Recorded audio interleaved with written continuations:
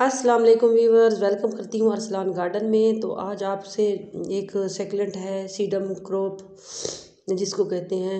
और इसके जो और भी नाम होंगे काफ़ी मुख्तलिफ़ नाम होंगे। ये सीडम की वैरायटीज़ है और सेकलेंट में होता है। तो इसकी जो पत्तियाँ होती हैं और इसकी टहनियाँ अपनी खूबसूरती खुद ही पेश करती हैं। बहुत ही खूबसूरत और यूनिक सा प्लांट है, एक छोटा सा होता है। आप इसकी एक दो इंच की कटिंग भी ले लें तो वो आसानी से चल जाती है। तो यहाँ पे मिट्टी मैंने तैयार कर ली है छोटे से पॉट के अंदर और यहाँ पे मेरा जो आप यकीन मानिए कि इसका जो था ना एक छोटा सा बेबी मैं लेके आई थी एक दोस्त के घर से तो मैंने इसको इसके गमले के अंदर लगा दिया था। माशाल्लाह अब इसकी ग्रोथ काफ़ी ये पकड़ चुका है और भी इसमें एक गमले के अंदर से प्लांट जो है वो लगाए हुए हैं। तो माशाल्लाह ये में अच्छी ग्रोथ कर रहे हैं। और ये जो सीडम है, सीडम को आप छोटी सी कटिंग भी लेके गमले के अंदर रख देना तो ये इंशाल्लाह अपनी ग्रोथ जल्दी पकड़ लेता है। बहुत ही ज़्यादा खूबसूरत दिखने वाला इसकी जो लीव्स हैं और इसकी जो एक बनावट है ना, वो देखें तो इस तरह लगता है कि जैसे छोटे छोटे फ्लावर गुलाब के खिले हुए हों।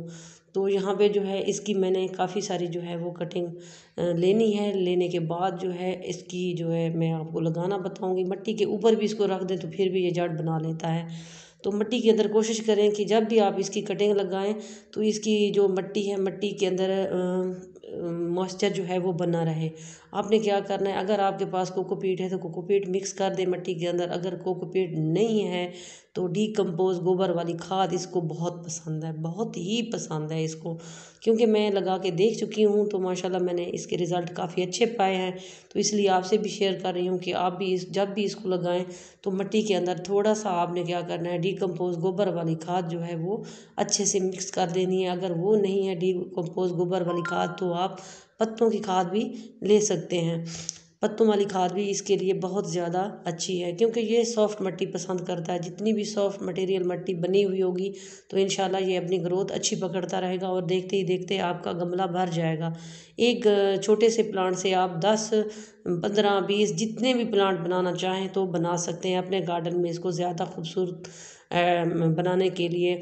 जितना भी आप गमले तैयार करते जाएँ ऐड करते जाएँ तो आपका देखते ही देखते पूरा गार्डन जो है वो सात आठ गमलों से भर जाएगा और ख़ूबसूरती बहुत ज़्यादा ये देता है। बहुत ज़्यादा ग्रीनरी होती है लश ग्रीन इसकी पत्तियाँ होती हैं और ख़ूबसूरत से ख़ूबसूरत सेकलेंट है ये भी। तो यहाँ पे जो है छोटी छोटी कटिंग मैं ले रही हूँ। छोटी छोटी कटिंग लेने के बाद तकरीबन एक जितना चना होता है ना, चने के दाने की भी आप एक कटिंग ले लें, इसकी तो वो भी चल जाती है। उसको मिट्टी के ऊपर बस रख दें।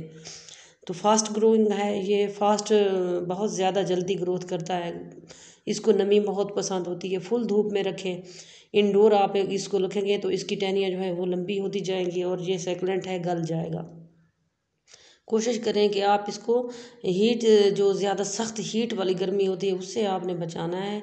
सख्त गर्मी में आपने ठंडक में रखना है, पानी इसको डेली रूटीन में देना है, क्योंकि अभी गर्मियाँ हैं तो गर्मी सर्दी में इसको पानी वाटरिंग बहुत पसंद होता है। इसकी पत्तियाँ देखें तो इसके थिक हैं, इसके पत्तियों के अंदर पानी मौजूद होता है, लेकिन इसको वाटरिंग बहुत ज़्यादा पसंद होती है। नमी इसके गमले में अंदर अंदर हर वक्त नमी मौजूद रहनी चाहिए। तो और एक और खुशखबरी की बात भी है, वो भी आपसे शेयर करूँगी। इसी प्लांट के बारे में है कि हम इसको किस तरीके से डिवाइड कर सकते हैं, किस तरीके से इसको हम प्रोपोगेट कर सकते हैं, आगे ढेर सारे गमले बना सकते हैं। तो एक तो ये आसान तरीका है, इसकी कटिंग लगाते जाएँ और ढेरों सारे गमले बनाते जाएँ। यहाँ पे जो है मट्टी के ऊपर ही मैं इसी तरह जो सॉफ्ट मिट्टी है मेरी, इसके अंदर डिकम्पोज गोबर वाली खाद काफ़ी सारी मिक्स है तो इसके ऊपर रखती जा रही हूँ और इन देखते ही देखते हैं ये हमारा पूरा पॉट जो है ये इस पौधे से भर जाएगा। तो वो मज़े की बात ये है कि इसको हम पत्ती के ज़रिए भी लगा सकते हैं, इसको पत्ती के ज़रिए भी ग्रोथ करवा सकते हैं। तो पत्ती यहाँ आपने क्या करना है? हल्के हाथ से इसकी पत्तियाँ आहिस्ता आहिस्ता हटाती जानी है।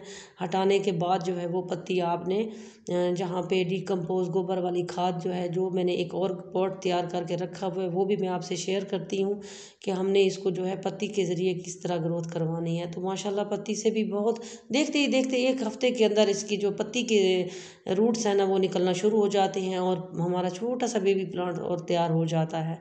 तो यहाँ पे ये तो हल्का सी, हल्की सी वाटरिंग मैंने कर दी है, इसको मैंने रखना है जहाँ पे एक घंटे की धूप आएगी, उसके बाद पूरा दिन की छाँव ही छाँव रहेगी और हमारा प्लांट जो है वो बढ़ता जाएगा। यहाँ पे जो है, इसको मैं एक, यहाँ पे पार्शली एरिया है, वहाँ पे रख दूँगी। जब ये सही, इंशाल्लाह अपनी जड़ें पकड़ लेगा तो फिर इसको मैं जो है अपनी जगह पे वापस रख दूँगी गमले को। फ़िलहाल एक, हफ़्ते, दो हफ़्ते के लिए छाँव में रखूँगी, जहाँ पे एक घंटे की धूप आती है।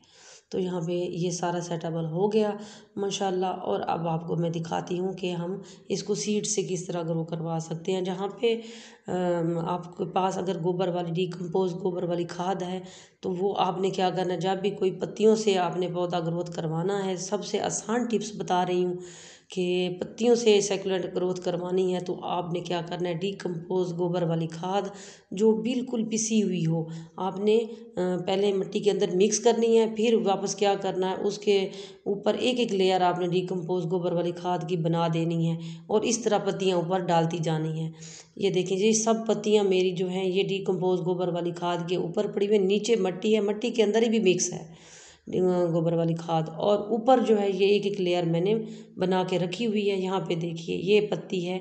ये जो सीडम मैं आपको बता रही थी सीडम क्रोम, इसके स्टोन जो होता है इसका। पत्ती मैंने निकाल दी थी, एक हफ़्ता पहले तकरीबन मैंने डाली थी। ये देखें, और भी पत्तियाँ हैं इसके अंदर उनकी उनमें से भी रूट्स निकल रहे हैं। ये देखें, अभी कैमरा सही नहीं दिखा रहा, लेकिन आपको नज़र आ रहा होगा कि छोटा सा बेबी प्लांट ये देखिए, छोटा सा है बिल्कुल। तो इसके ऊपर जो है, वो जड़ें भी बनी हुई हैं और छोटा सा बेबी प्लांट भी निकल रहा है। इस प्लांट को जो है, हम पत्ती से भी ग्रोथ करवा सकते हैं, ये देखें।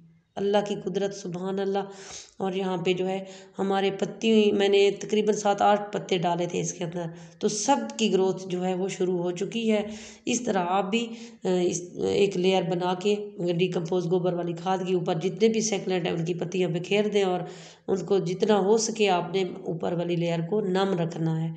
थोड़ा थोड़ा जो है, मिस्टिंग करते रहें और देखते ही देखते आपके प्लांट्स जो हैं सेकलेंट काफ़ी सारे तैयार हो जाएँगे। तो इसको मैंने वापस इसी जगह पे रखना है, ये देखें। छोटी सी इसकी कटिंग जो है ये कटिंग नहीं, पत्ती के अंदर से निकल रहा है पौधा।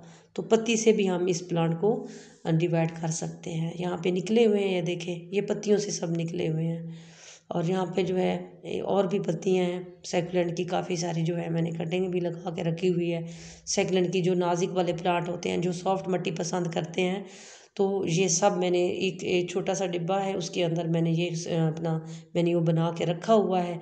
जितने भी मेरे छोटे सेकलेट होते हैं, यहाँ पे ग्रोथ करते हैं, फिर वापस मैं इनको निकाल के किसी न किसी पॉट में जो इजी लेवल आपको नज़र आए, उसमें आप इसको ऐड कर दें।